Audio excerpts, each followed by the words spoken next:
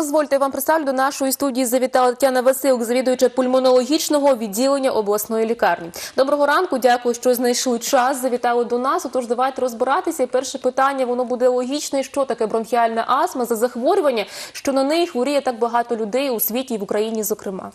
Доброго ранку. Е, Бронхіальна астма з грецької це ядуха, затруднене дихання. Актуальність цієї проблеми послугувала Всесвітня організація охорони здоров'я створити міжнародну експертну групу з цього захворювання, а також створити документ, який є стратегічним для лікування цього захворювання всіми спеціалістами в світі, які займаються цією проблемою. Дійсно, поширеність цього захворювання дуже велика від 1 до 16% в світі людей хворіє на цю хворобу. В Україні це 210 тисяч, 0,5%.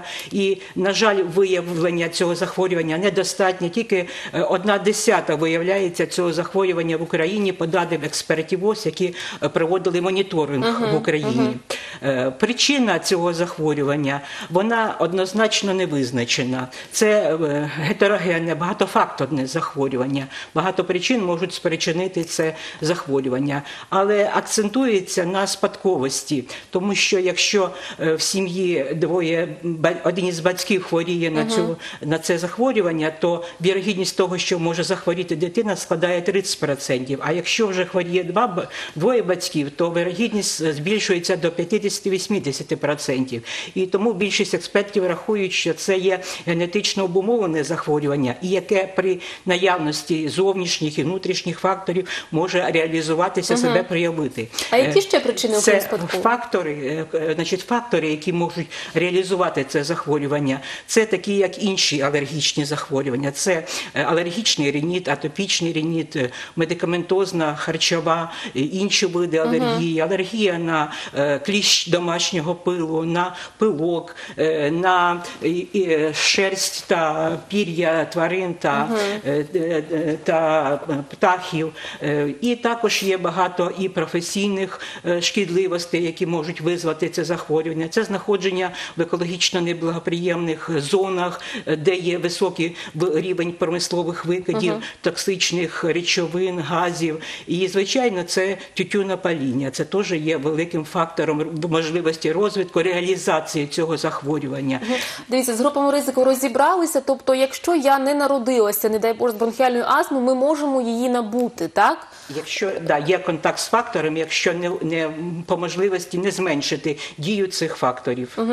Е, які її симптоми? Чи одразу все так е, починається задуха, ядуха, про яку ви говорили? І чи можна бронхіальну астму, наприклад, перепутати з тим же самим ренітом чи з іншими захворюваннями? От, от як в цьому сенсі Ну, розібратися? Основними симптомами це є свистяче дихання з подовженим видохом, це скованість в грудній клітці, це може бути такі симптоми, як напатоподібний е, кашель, який переважно сухий і виникає в ранкові або е, нічні часи. Е, Це ну, звичайно вже більш виражена стадія це напади ядухи. І проте, якщо вже хворого є такі прояви, як алергічний реніт, свербіж, сенсибілізація під час, коли цвіте цвітіння, це також вже повинно бути тривожним дзвіночком, і хворий повинен звернутися до спочатку до свого сімейного лікаря, а далі лікар, якщо він врахує необхідним, направить до вузького спеціаліста, пульмонолога чи алерголога. Е, Це захворювання невиліковне, бронхіальна Е, астма? На жаль,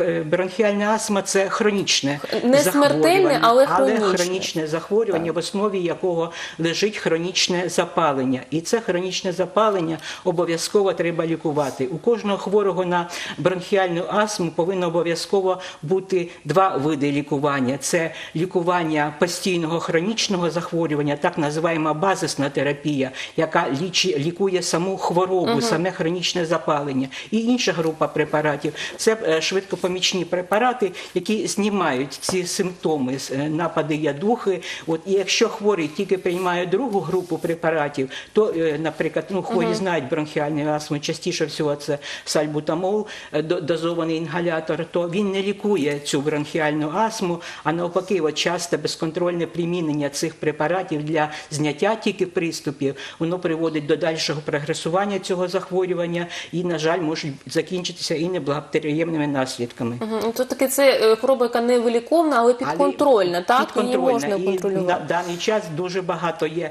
високоефективних препаратів, які лікують і контролюють.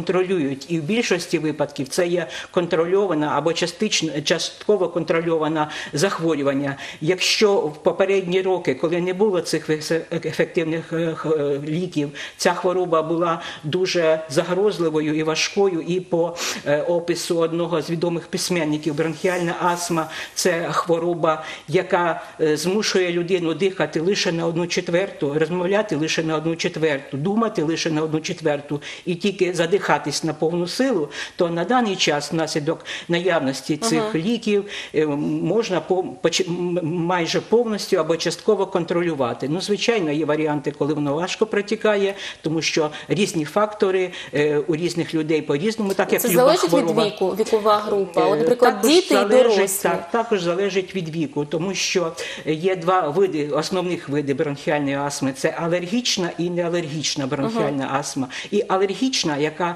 супроводжується іншими алергічними станами, про які я вже говорила, атопічний так. дерматит, алергічний риніт, е, інші види алергії. Вона, звичайно, виникає в дитячому, підлітковому віці, і вона краще лікується е, спеціальними протиалергічними засобами. На жаль, та астма, яка виникає в більш пізньому віці, вона часто протікає на фоні інших захворювань, ожиріння, гастроезофагально-рефлюксної хвороби і інших станів. Е, Часто е, е, поряд з нею протікає і хронічне обструктивне захворювання, і, на жаль, вона більш важко піддається лікуванню, має більш тяжке протікання, так називаємо тяжка бронхіальна астма. І коли легку і середньої важкості контрольовану вони лікуються і на, на- спостерігаються у лікарів сімейних лікарів, то вже більш важка астма, яка важче піддається лікуванню, необхідно обов'язково направляти до більш вузьких спеціалістів, алергологів, пульмонологів. Мгм.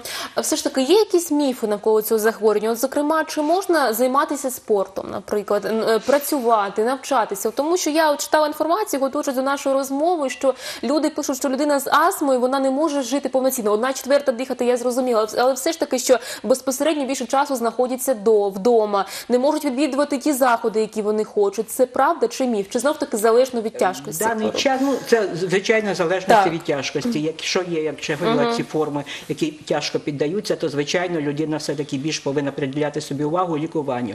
Ну більшість до 70-80% бронхіальної астми це добре лікується бронхіальна астма. Є 12, 12 олімпійських чемпіонів, які досягли таких так. результатів. Да, багато відомих людей хворіючи на, на цю астму, е, президенти Сполучених Сполштатів, Штатів, так, так. да, вони хворіли, але причому вони були е, дуже успішними людьми. Тобто, якщо правильно, регулярно приймати ліки, які рекомендованим рекомендуються лікарями, то ця астма лікується і добре піддається контролю. Термін такий зараз є контрольована бронхіальна астма. Тобто, часто людина від здорової е, хвора на бронхіальну астму відрізняється від здорової лише двома вдихами препарату, який лікує цю астму, який контролює цю астму. Потрібно носити постійно із собою. Е, Правильно? З собою потрібно би постійно носити для скоропомічний інгалятор. Ну і лігаря- і лікувальний інгалятор також ранком і вечором, зазвичай два рази на добу. Ну іноді, коли легше протікання, і раз приходиться на добу приймати.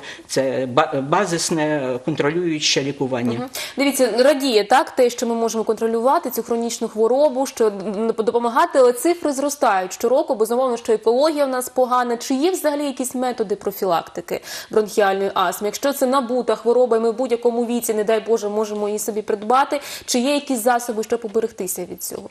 Ваші поради? Засоби опе- оберегтися це так називана ел- елімінація, тобто зменшення контакту з тими алергенами, які можуть тими факторами, які можуть визвати бронхіальну астму. Уже з дитячого віку необхідно привчати дітей до того до чистоти, тобто прибирання, вологе прибирання кімнати. Якщо є такі фактори, що можуть нам на- показувати на те, що можна захворіти на цю хворобу, звичайно, необхідно зменшити і кількість там м'яких іграшок, килимів, щоб їх не було, зменшити контакт е, з алергенами, е, іноді це навіть приходиться змінювати місце проживання, де є висока концентрація алергенів, які можуть призвести. От. Ну і звичайно, е, дуже погана звичка це тютюнопаління і пасивне тютюнопаління, якого треба обов'язково уникати.